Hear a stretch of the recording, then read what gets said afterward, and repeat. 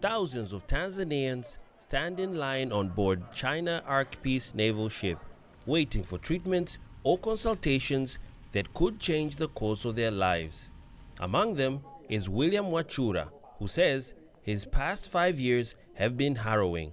He has a growth in his eyes that needs surgery.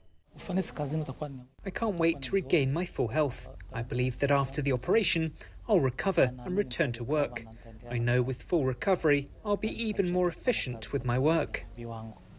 And he's likely to get what he needs on board the Ark Peace, which is well kitted out with much of the latest in medical technology and staffed by specialists in all kinds of fields. The ship includes eight operation rooms and tools to carry out high-level scans and ultrasounds. It also carries a wide range of specialist medical devices.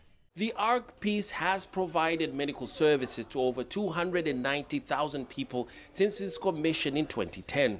This is the third time it's come to Tanzania. The team here says the plan is to service an average of 800 to 1,000 people per day for the seven days they're docked in Dar es Salaam port. The free medical services are part of commemorating 60 years of China-Tanzania bilateral cooperation.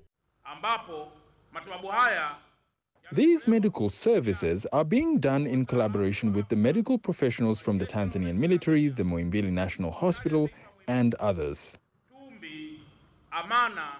According to the Tanzania Investment Center, China is already Tanzania's biggest trading partner.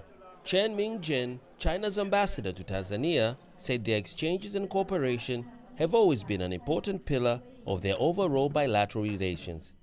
Tanzania and China are brothers and sisters for a long time.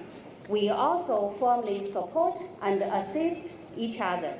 Ark Peace brings the deep affection of Chinese people to Tanzanian people. As the ship continues its mission in Tanzania, officials say its impact goes far beyond addressing health challenges. For many patients like William, it also touches on respect, cooperation, and shared human values. Daniel Kijo, CGTN, Dar es Salaam, Tanzania.